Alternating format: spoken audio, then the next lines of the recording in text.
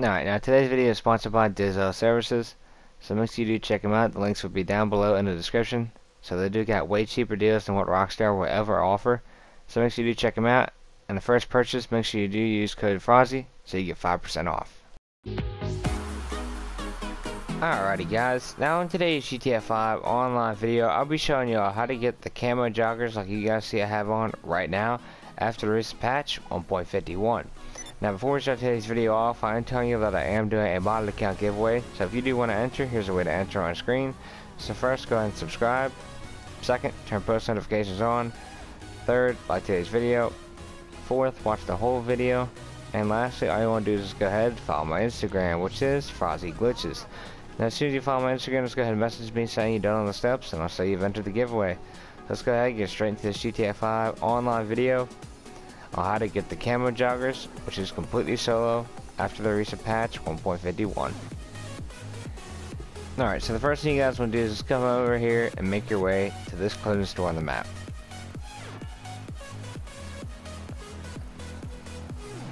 Now, as soon as you make your way to this clothing store on the map, what you want to do is go ahead, get an interaction menu, go to hide options, go to jobs, and make sure it says custom and they all say show. Now, as soon as you have them on show, this job right here called Transform Separation should pop up in the blue circle. As you guys see, I already have it.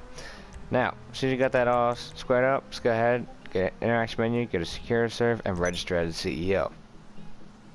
As soon as you do that, go to CEO, go to Management, go to Style, and scroll over to the right until you guys see um, Moon Cursor. As soon as you see this one right here, is when you're ready to do the glitch. So, as soon as you have that outfit on, just come over here to transform separation and hit round D-pad to enter th the job. And it should download you into the job screen, just like this. Now, you want to make sure that you are in the job by yourself in order for this glitch to work. So as you guys see, we're not in the glitch, I mean we're not in the job by ourselves, so we're going to go ahead give it a few seconds here and see if we can get in the job by ourselves. So I'll meet back with you guys when we're in the job by ourselves. Alright, so we finally got into the job by ourselves. So once you do that, let's go ahead, confirm the settings, and start it up.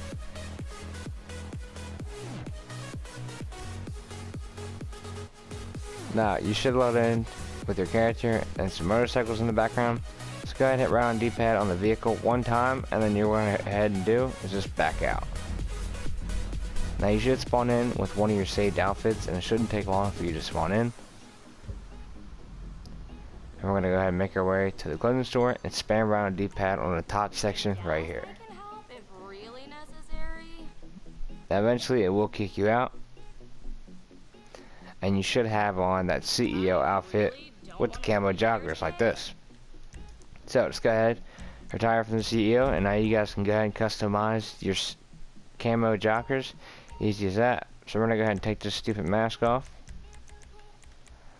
Now we got rid of that. You guys change the tops. As you guys can see, we're just gonna go ahead and change something random. Something that looks somewhat decent.